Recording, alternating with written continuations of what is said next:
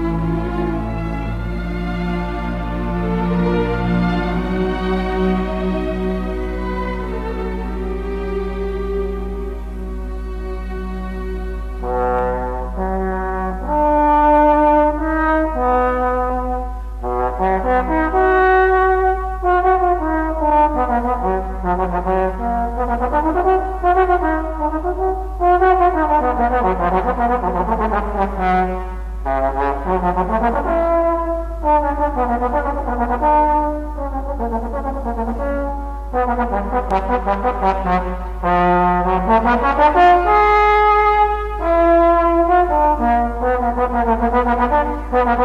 you.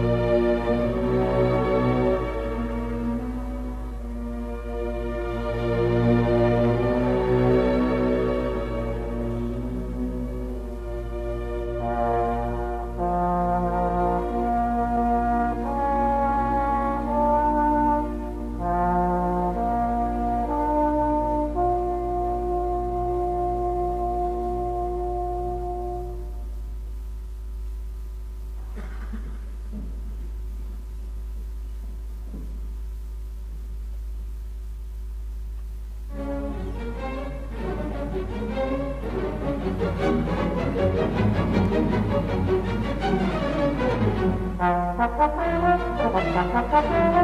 you.